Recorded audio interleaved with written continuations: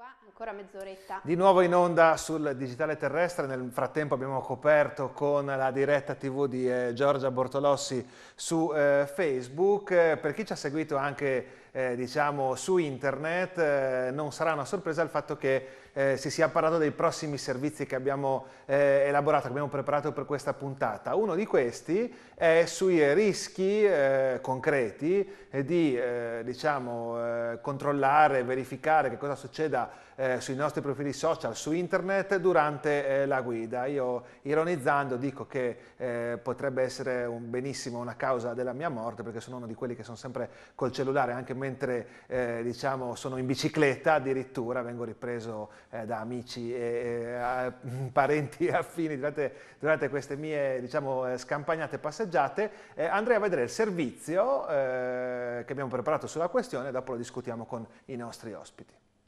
La vediamo con lo smartphone, lo utilizza di frequente? Mm, sì, abbastanza di frequente, sì. Per quanto riguarda lo smartphone in auto, come si comporta? Se arrivano dei messaggini, degli sms? No, non, non arrivano e ho il viva voce mentre in auto, se gli arriva un sms, un no, messaggio, una chiamata? lo leggo in quanto è contro la legge, giustamente anche. Lo vedo dopo oppure mi fermo e controllo un momentino cosa c'è. Sarebbe il caso di non, di non guardare. Ogni tanto capita di rispondere. Eh, Dio capita, sì, sì, sì. Purtroppo però non si dovrebbe, insomma, ecco. Per quanto riguarda anche le app con navigatori, questi strumenti per trovare anche le vie, così ne fa uso? Dio capita, sì, sì. Di solito ho mappe o comunque insomma, se, se c'è qualche conversazione in corso magari sì. Cerca insomma, di essere rapido, cerca di rispondere. Sì, sì, sì, sì, sì. Utilizzate lo smartphone frequentemente? Sempre, sì. Per quanto riguarda l'auto, anche mentre è alla guida, insomma, butta un occhio, che Solo con l'auricolare per telefonare. E lei utilizza il cellulare mentre è alla guida? Col viva voce, solitamente. Fa in generale un uso molto frequente dello smartphone? Pure troppo purtroppo, sia per lavoro sia altro. Lei anche utilizza molto smartphone? Sì, sì, sì ogni, continuamente direi. Anche alla guida? Ho il Bluetooth, quindi non, non mi distraggo. Esiste ancora il Bluetooth adesso che ha detto questo, questo eh, ragazzo, questo uomo intervistato? Eh, no, a parte la battuta di spirito, ci si chiedeva dove arriveremo Giorgio? No? Eh, non era una previsione facile fare dieci anni fa, eh, non si pensava che saremmo arrivati in questi termini, eh, però dove si può arrivare secondo te? Eh, che domanda, eh? eh? certo, perché già prima provavo a dire appunto che era già difficile pensare, neanche scrivere eh, certe cose dieci anni fa e lo sviluppo che avrebbero preso. E stiamo parlando di innovazione tecnologica fondamentalmente. Eh, ci sono dei ragionamenti famosi da parte di scienziati, di futurologi, di tecnologi, nel, nel senso migliore del termine, che dicono chiaramente noi abbiamo una percezione dell'innovazione eh, di tipo lineare, cioè no, dopo 1, 2, 3, 4 per così dire, una, una diagonale, sul, eh, mentre in realtà l'innovazione che sta, ci sta muovendo sotto e stiamo parlando degli ultimi 60-70 anni se parliamo di computer, stiamo parlando di, degli ultimi 40 se parliamo di personal computer con i i PC come li conosciamo, cioè di Steve Jobs, di Bill Gates, di Microsoft, Apple e così via. Se parliamo di rete parliamo di web dall'89-90, se parliamo di chattare parliamo di fine 90, parliamo dei blog, parliamo dei social dalla fine del 2000. In realtà tutta questa è una curva non di tipo lineare ma di tipo esponenziale. Quello che sta accadendo sotto nell'innovazione tecnologica che riguarda ogni singolo ambiente in cui noi viviamo, in ogni singolo ambiente in cui eh, la mente umana prova a progredire, a inventare, a scoprire nanotecnologie, mi vengono in mente eh, rivoluzioni verdi, eh, qualunque cosa, in campo medico ci sono cose eccezionali che stanno accadendo. Tutto questo è molto più veloce di quanto noi riusciamo a comprendere, perché ragioniamo con una progressione e non riusciamo a cogliere. Eh, questo ci fa capire cosa, ad esempio? Che già il Novecento è durato no, quegli 70-80 anni, dalla, seconda, dalla prima guerra mondiale sì. al, alla caduta del muro fondamentalmente. Eh, gli anni che sono passati dal 90 a oggi, che sono 25 anni, diciamo così, sono stati un'accelerazione incredibile. Cioè, fino a qualche giorno fa eh, sono morte mandando, mandando delle mail delle persone nate a lume di candela. Chi nasceva a fine Ottocento è morto mandando una mail e ha visto una cosa che ne mille anni precedenti non avevano visto. Noi in 25 anni abbiamo visto una, una progressione di innovazioni diventate poi pratica quotidiana, sociale innestata nei comportamenti umani, mandare una mail, ricevere un progetto, lavorare da remoto, lavorare... Sì, si è metabolizzato anche velocemente, ecco, no? nonostante sì, tutto questo. Questa è una meria, meravigliosa osservazione, non lo faccio per piaggeria, eh, ringrazio, Nicola, no?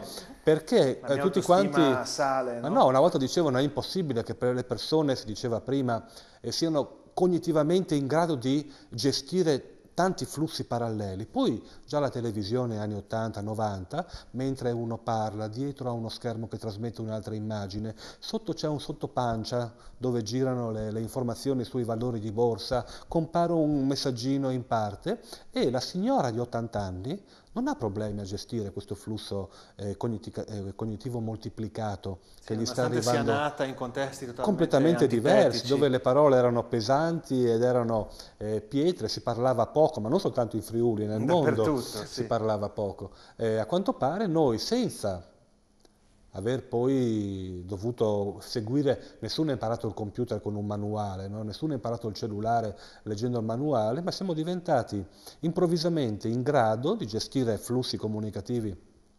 complessi, e questa è, scusami, la parte importante, che ora stanno diventando ciò che viene professionalmente richiesto in ogni settore lavorativo ed è ciò a cui la scuola, perché bisognerà arrivare a parlare di educazione, dovrebbe tendere, dovrebbe certamente tendere, non dico di insegnare lo strumento, ma a far riflettere su un mondo da cui quello strumento ci sarà per i prossimi millenni millenni, questa è la profezia di Yannis. Yannis Dottore, torniamo al, alla questione malattie, prima l'abbiamo svelata un po' velocemente. Comunque, secondo no? me avete barato tutti eh, lì, perché io non vedo accendersi nulla, quindi secondo me avete tolto tutti tutto. No, adesso ti autorizzo Giorgio a controllare se ho ricevuto Fa- dei messaggi, farò- anche non farò- divulgare il contenuto, però puoi guardare, perché io eh, orgogliosamente rivendico, li ha, li ha messi, li ha messi, vicino al tuo, al tuo cellulare. sì, sì, li ha messi in sequenza, eh, quindi Con- questo è il mio. Controlliamo. Sì, eh, parecchio. Ecco, ecco, vediamo se si può inquadrare il, il cellulare di Angeli senza far capire chi è che gli scrive. No, anche se si capisce, insomma, non è che questi, Non è grandi, questi grandi segreti. E non si eh. vede bene, vediamo. È pieno di messaggi Ecco, vedi? ricevuti. Vedi, ecco. Angeli, tu sei un animale sociale. Eh, vedi, io con i social mi do un sacco Sì. da fare, no? Io con abbandono WhatsApp la diretta web e continuiamo la discussione, poi andiamo a proprio a parlare di futuro su un articolo Certo, interessante volevo- del Sole 24 Ore. Volevo solo sapere dal dottore, eh, ok che non sono definibili come patologie, dipendenze, c'è un po' di difficoltà scientifica o poca, eh, diciamo, eh, poca giurisprudenza in questo caso no, dal punto di vista scientifico, però eh, da dove si dovrebbe partire per limitare un po' tutto questo, per cercare eh, di capire se ha senso limitarlo, dottore? no? Eh, abbiamo visto che si inquadrano dei fenomeni più che definire patologie, più che altro per il momento, no? No, eh, si, si- si può parlare anche di patologie. C'è il problema di riuscire a collocare queste patologie, Sì. questo tipo di, di patologie, di riuscire a trovare i criteri per diagnosticare questo tipo di patologie, però si può parlare di patologie. E da dove si può partire? Eh, penso che come per, eh, qualsiasi, come per altri, anche non per l'uso, non so, penso a sostanze voluttuarie, all'alcol, al tabacco, per eh, il- la guida, per eccetera. dovrebbe essere lo stesso, sempre no? lo stesso, cioè un metodo educativo, un metodo di consapevolezza, un metodo di informazione innanzitutto, è, è- è quello il- è quella la strada da battere, perché eh, non possiamo fare la guerra, eh, non possiamo fare come Don Chisciotte che va contro i mulini a vento. cioè questi sono, questi sono una realtà e saranno sempre di più questi strumenti una realtà. Eh, l'importante è che ci educhiamo noi, Innanzitutto perché in fin dei conti eh, siamo noi in primis che trasmettiamo i modelli anche eh, di comportamento agli, ai ragazzi, agli adolescenti. Non dimentichiamo che il primo cellulare in genere è il genitore che lo regala quando, quando il figlio inizia ad avere gli ultimi anni delle elementari, i primi anni della, della scuola media.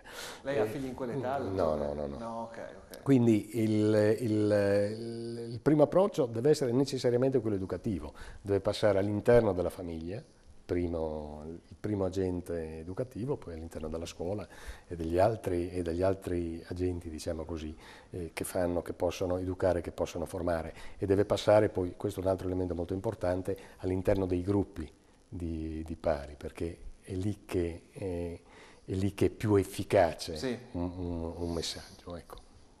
Tuo figlio Jacopo invece a quanti anni avrà il suo primo cellulare?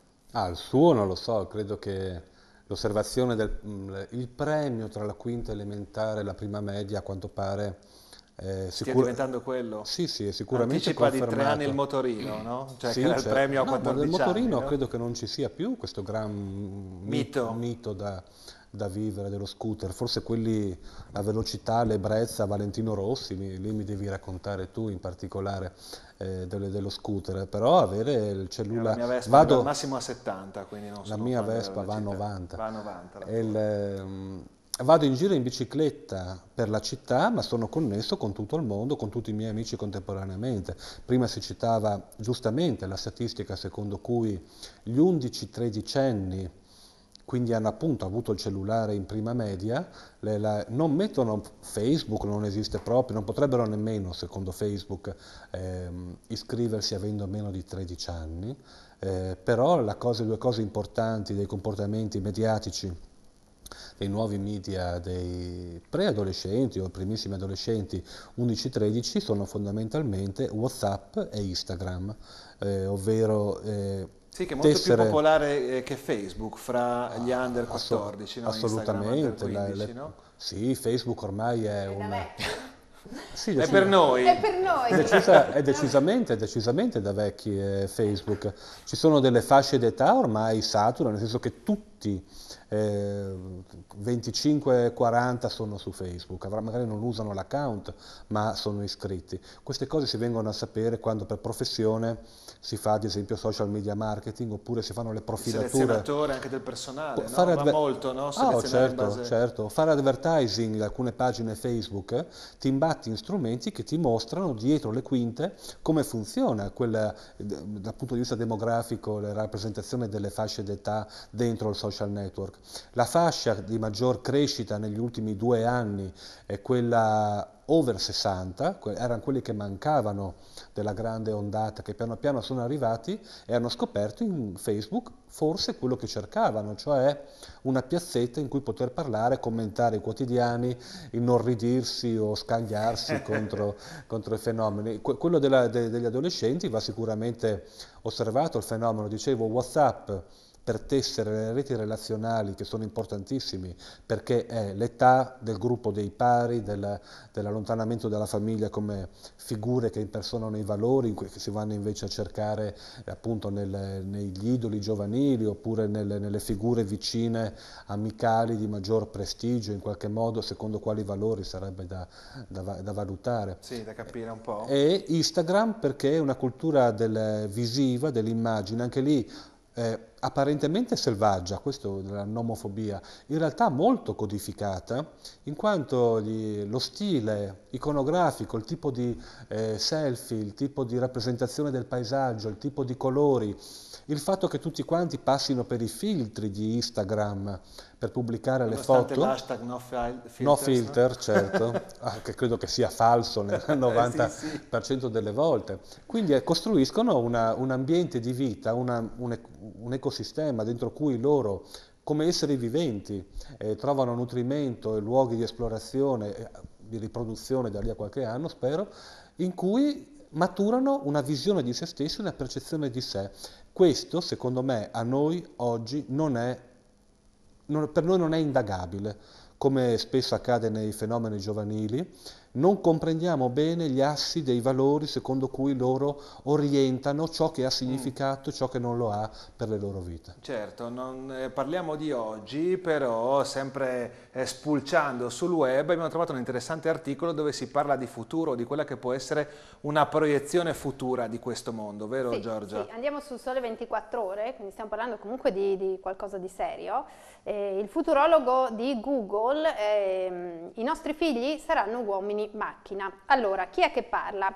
Parla il signor Kurzweil, che eh, è considerato uno dei più grandi inventori e scienziati informatici viventi, è direttore del settore ingegneristico di eh, Google e, ed ha una fama di acutissimo futurologo. Pensate che delle sue 147 previsioni fatte dagli anni 90 ad oggi, ben l'86% si sono rivelate esatte. Quindi questo signore prevede il futuro e ci prende spessissimo. E che cosa dice questo signore? Si, si eh, dice che eh, un'accurata agenda della singolarità tecnologica, ovvero il punto in cui il progresso tecnologico accelera oltre la capacità di comprendere e prevedere degli esseri umani. La singolarità può riferirsi all'avvento di un'intelligenza superiore a quella umana e ai progressi tecnologici che a cascata ne seguirebbero. Praticamente ci sarà la superiorità della, della tecnologia sull'uomo, questo succederà e la fusione in qualche modo della mente umana con la mente tecnologica, questo succederà, secondo il guru americano, nel 2045. Quindi tra 28 anni l'intelligenza degli esseri umani verrà moltiplicata miliardi di volte rispetto alle originarie potenzialità biologiche attraverso la fusione con l'intelligenza artificiale creata dall'uomo stesso. Praticamente tutti noi avremo dei, dei computer dentro di noi questo succederà e diventeremo de, degli uomini macchina. Insomma, eh, non lo so se ci ha, preso, ci ha, preso, anche questa volta.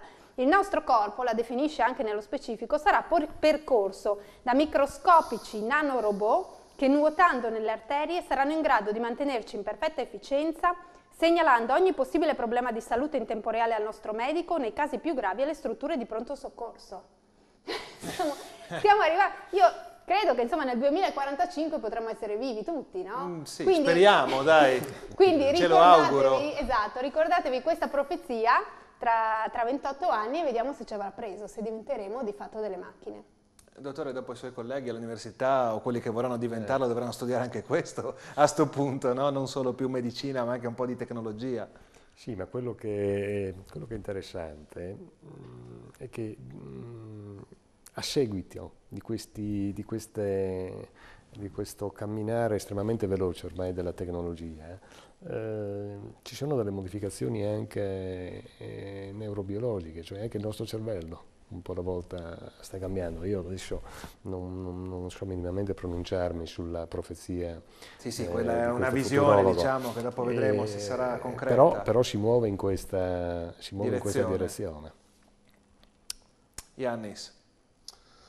Kurzweil è un super personaggio perché mm, dagli anni 70 almeno racconta, proietta immaginazione in avanti ed è vero, ci ha preso molte, molte volte. Ci ha pigliato tante volte. Sì, no? sicuramente. Il suo ragionamento riparte, parla di secoli però, lui identifica dei momenti di singolarità, cioè in cui uno sviluppo, fondament cosa fondamentale è smettere di dividere l'umanità in umanistica e scientifica, no? come facciamo in Italia o comunque sempre nel mondo, nella dicotomia classica, abbiamo, ci sono i riferimenti storici per, per fare questa cosa, li abbiamo fatti anche troppo, perché in realtà la specie umana è una scimmia tecnologica, no? noi diventiamo eh, animali che sono in grado di sopravvivere modificando l'ambiente, quindi senza aspettare che arrivino delle forme di selezione naturale, mutazioni genetiche per permetterci a uno di noi, non a tutti, di superare una difficoltà ambientale che si è presentata. Noi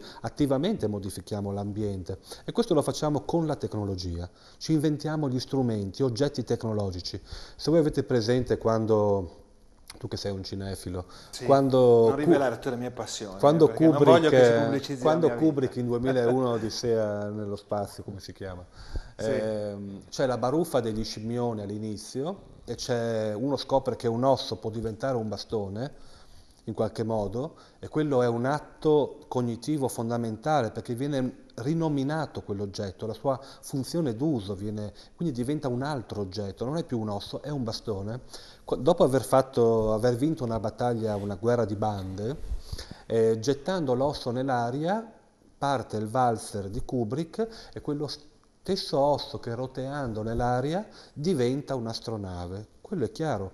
Quell'osso, che è un bastone, è quell'astronave. Quella è tecnologia. È quello che ci permette di padroneggiare l'ambiente, di vincere in quel caso una risorsa come poteva essere una pozza d'acqua o di conquistare lo spazio. Questa cosa qua Kurzweil la individua nel corso dei secoli, momenti in cui storicamente il progredire contemporaneo, ma da non considerare come separato di consapevolezza di nostro essere umani e della nostra storia tecnologica si intersecano sì. e avvengono dei cambiamenti forti del paradigma culturale in cui noi viviamo. Per rimanere in termini di informazione, scolpire le lettere su una pietra, inventare, da pittogrammi passare agli alfabeti fonetici, inventare la stampa o il papiro, i supporti con cui veicolare l'informazione, eh, arrivare alla carta, Fabriano del 1200, arrivare alla stampa con Gutenberg, oh. finalmente stampare i quotidiani molto più avanti, eh, robe simili, fino ad arrivare al secolo elettrico del Novecento e fino ad arrivare a quello elettronico avanzato. Alla puntata di stasera che è la somma, è la somma del ci arroghiamo no, il merito di aver umano. sintetizzato tutto. Prendendo la rincorsa in questo modo, a Kurzweil non è che gli viene facile, ma gli è possibile proiettare alcuni ragionamenti. Eh, noi abbiamo, siamo ancora legati per accedere all'informazione a cose vecchie, hanno 50 anni, più schermi, mouse, tastiera, no? eh, ci sono molti film di fantascienza. In tutta questa evoluzione eh, sì, sono rimaste indietro queste cose, sono quelle di sempre. No? Le interfacce sono molto indietro, I, i mouse che usano quelli che, fanno, usano, che, giocano a videogame avanzati sì. sono molto più performanti, devono sparare più veloce, muoversi più veloci.